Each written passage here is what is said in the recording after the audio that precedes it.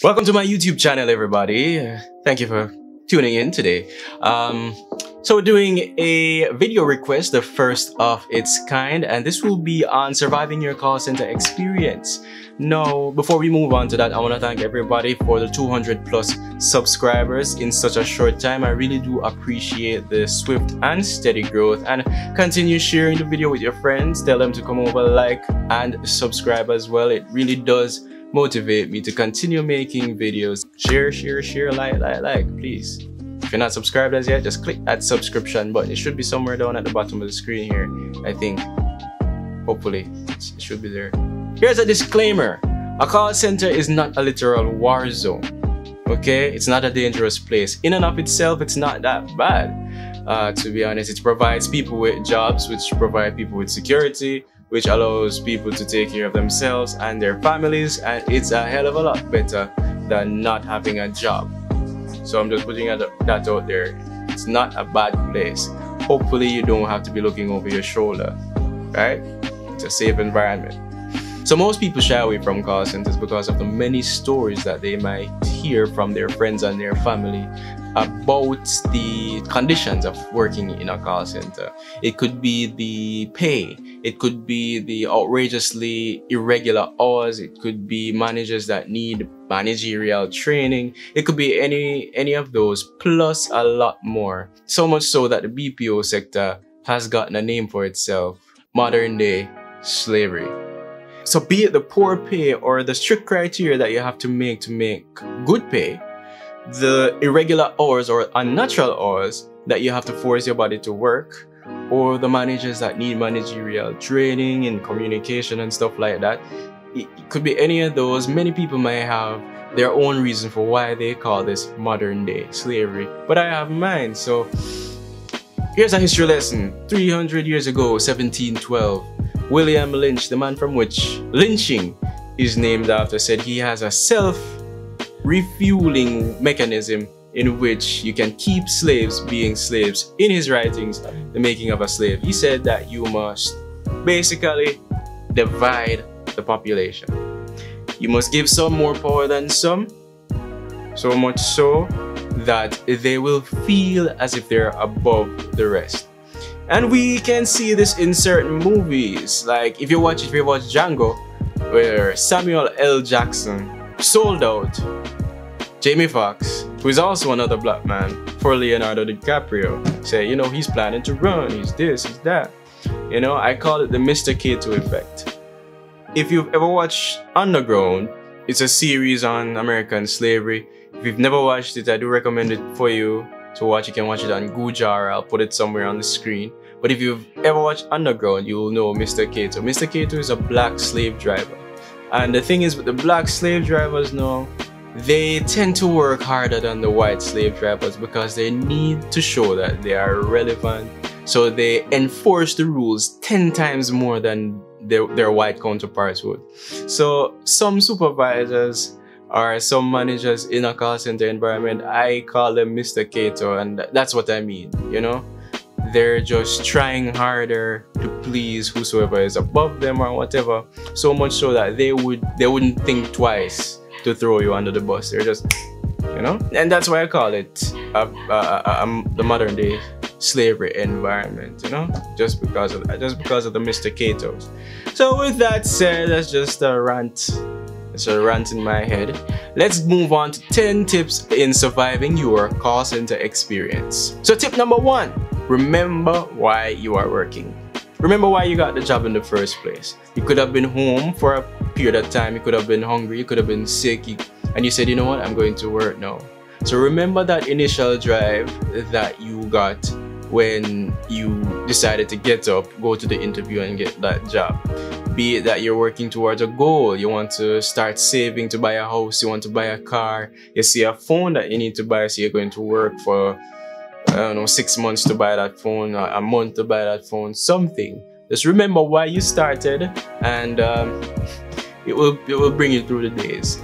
Point number two, you know, most people don't go to a call center to make friends, but we are social beings, so it's basically inevitable. So when you make friends, ensure that they're friends that are progressive in their thinking, in their actions, and not friends that will that are regressive. Friends that you know squander their money, friends that have bad habits that may rub off on you. Because it, the saying is true, birds of a feather do flock together. So you must have a similar interest in whatever they're doing, or they have interest in whatever you're doing for you to come together. So get friends that are progressive, get friends that motivate you to do better things or to do things that are sensible. Point number three. Don't get involved in things that don't concern you. So people lie. People lie a lot, especially in the, the call center environment. People will tell lie on this person, people tell lie on this per person. Why? People will throw you under the bus the first chance you get they get because why? Everybody is trying to keep their jobs. Everybody is trying to keep their jobs. Everybody is trying to keep their income coming in. Nobody is going to risk their job for you. Alright? So if something doesn't concern you, leave it alone. I've seen many people lose their jobs because they stuck their nose in other people's business and people just tell a lie upon them and them. You know? If it does not concern you, leave it alone. Point number four. Admittedly, this one gets me as well. Take care of your body. You need adequate rest, adequate food, adequate water. Take care of your body. Sometimes we have, you know, some works will have these overtime promotions and then we force ourselves to work so hard that we forget that we need rest. And then when we get the pay, we turn around and we just go straight to the doctor with it. So when we get that extra pay, we end up in the doctor's office and then we're like, oh, look, I just did all those hours in overtime and this is where I'm spending the money.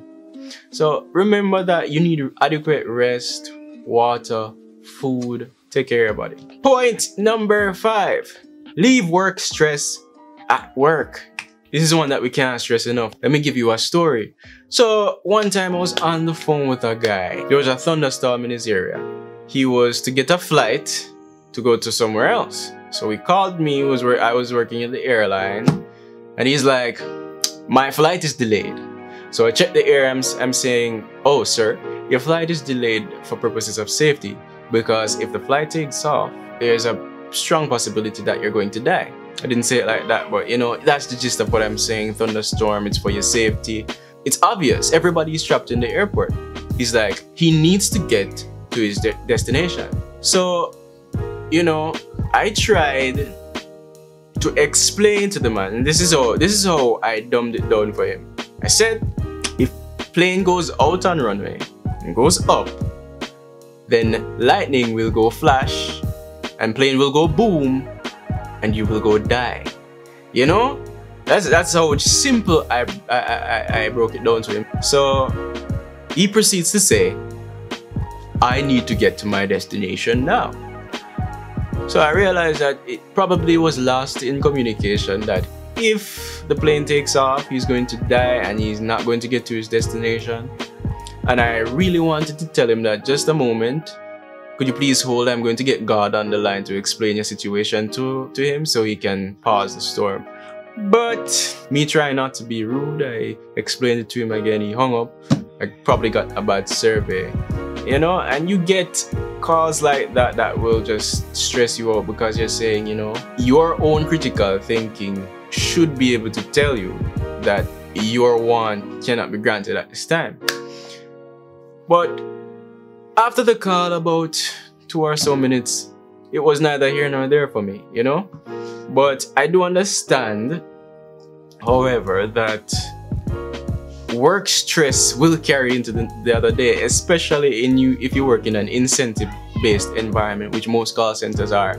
So whatever performance you did on a, on a call yesterday, you might be thinking about You say, oh, did I get a negative survey on that call? Probably go affect my pay for next week.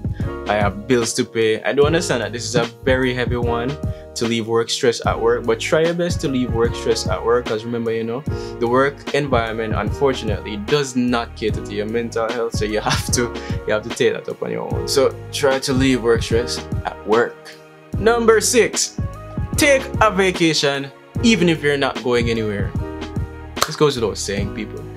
Sometimes we need a break from work from people from everything if you have vacation days, if you can take a vacation, take a vacation. If you're not planning to go anywhere, take it, relax, recuperate, rejuvenate, do something fun with your days, your week, your two weeks. Take a vacation, even if you're not going anywhere. Funny story. So one day, one day I was walking by and I, heard a manager say, you know, in my 18 years of being here, I've never taken vacation. I don't know if that was supposed to be impressive or it's supposed to show his dedication to the work, but remember, you know, you're dedicated to the work. There are a lot of other people that are also dedicated to your job. Dedicate yourself to yourself as well. Number seven, talk to someone if you're going through any form of depression. If you need somebody to talk to, talk to a close friend, a relative. It provides you with an outlet. Let me share with you a story that we're talking to someone did help somebody and it goes all around the board you know? It doesn't have to be with work could be with anything in life just talk to somebody. Talk to somebody it helps out. So one day i was at work this guy called in he's like book me a flight. I'm like okay where do you want to go? He's like anywhere. So i'm like you know i can't just choose somewhere for you to go you know? You need to tell me where you need to go so i can book the flight from where you're leaving from to where you're going. He's like my ex-girlfriend just came over. Um, she has a boyfriend and everything, but I'm sick. I have a cold. She made tea for me. She she she stayed. I told her it's okay. She could leave, and she said, "If you're sure." I said, "Okay, it's okay. It's fine. You can leave. You can go." But then I realized, man, that I need to go because I'm still in love with her and blah blah blah. So the man, so the man talked to me on the phone, and he said that she lived with her new boyfriend. So I'm like, you know, the fact that she came over to help you out when you were sick means that she probably still has some feelings for you as well. This guy starts crying on the phone, you know, and saying, I really needed to hear that, Nick. Thank you, man. I really need to hear. And we were talking for a while and then we ended the call. I probably got a good survey for that, but he called to book a flight to go anywhere in the world. And we ended up just talking and at the end of the call, he felt better. Didn't spend any money with the company, but you know, somebody felt better in the world. So if you're going through anything, talk to someone. Talk to somebody close. Talk to somebody you know you can trust.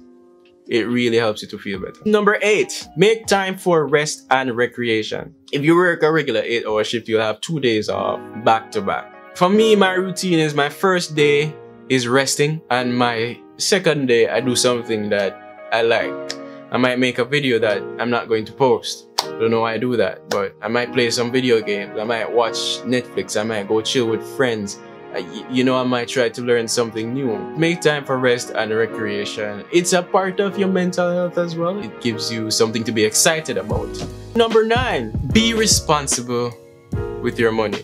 So I can't talk about women spending their money on hair or nails or anything like that. I don't, I don't, I, I won't speak on it because I'm not a female, so I don't know. But young men, it's hilarious and very stupid to watch a young man give majority of his money to a woman in the workplace that is making more money than he is.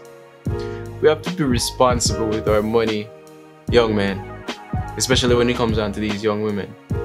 I know that most of us want to be gentlemen, and in the gentleman's book, we should, or in our society, we should give money to women and all that, and this and that. And oftentimes, it's generally something, you know, something worth giving them the money. They may have rent to pay, they may need groceries, they may need X and Y. But what I'm saying is be responsible with your money. You understand?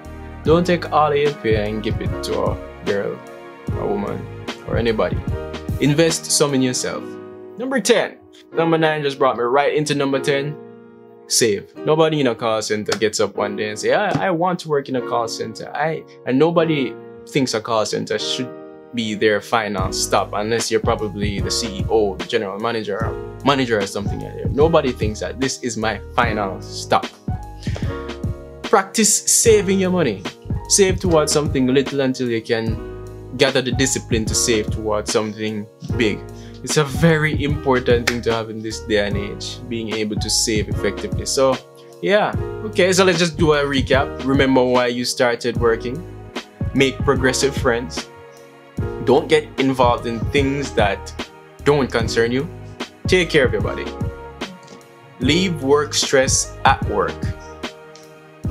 Take a vacation even if you don't have anywhere to go. Just take the vacation. Rejuvenate. Talk to someone if you are depressed, stressed, talk to someone. Make time for rest and recreation. Be responsible with your money, especially young men. Save.